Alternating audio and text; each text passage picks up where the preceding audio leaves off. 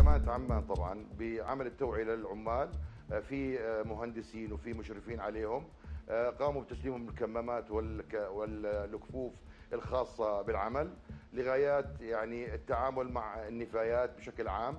أما بخصوص الكمامات وبخصوص الكفوف اللي بتلقى بالطرقات بشكل عشوائي هاي بتشكل عبء كبير علينا لأنه عملية التقاطها وعملية جمعها من الطرقات من أمام المولات من أمام المخابز كميات كبيرة جدا.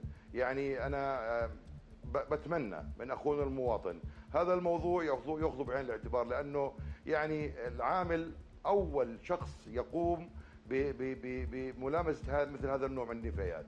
آه، يعني آه، بسوى إنه ما ننقل الخطر حتى لو كانت هاي الكمامة آمنة أو هذه الكفوف آمنة ما ننقل الخطر لاي بأي صورة من الصور لأي شخص آخر سواء كان أطفالنا سواء كان عمال الوطن سواء كان أي شخص بتعامل مع هذا النوع من النفايات.